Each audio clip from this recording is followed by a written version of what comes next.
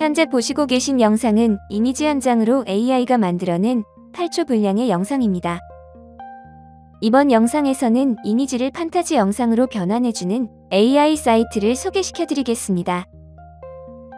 영상 설명글에 사이트 링크 주소를 남겨놓겠습니다. 이번에 소개드리는 카이버의 첫 화면입니다. 이메일 인증을 통한 회원가입이 필요한 사이트이며 회원가입은 무료입니다. 로그인인 후 첫 화면에는 자신이 제작한 영상을 확인할 수 있는 페이지가 나옵니다. 영상을 클릭하시면 조금 더 큰 화면에서 확인하실 수 있습니다.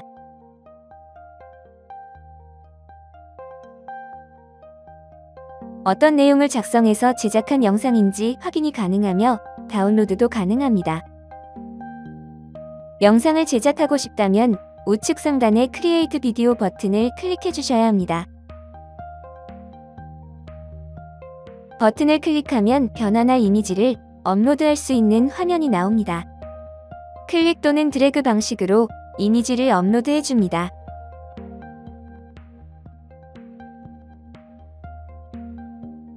이미지가 업로드 됐다면 우측 하단의 Continue to Prompt 버튼을 클릭해 줍니다.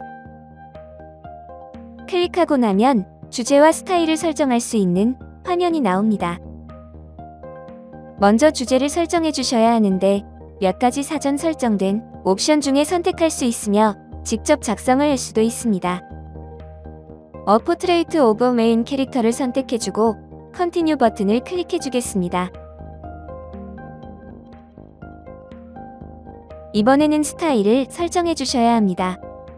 Steampunk를 선택해주고 Continue to Settings 버튼을 클릭해 줍니다. 영상의 길이와 기타 설정을 할 수 있는 내용이 나오는 걸 확인해 주시고 우측 하단의 Generate 버튼을 클릭해 주시면 영상으로 변환이 시작됩니다. 이미지가 영상으로 변환되는데 걸리는 시간이 3분 정도 필요합니다. 이미지 한 장이 영상으로 변환된 모습입니다.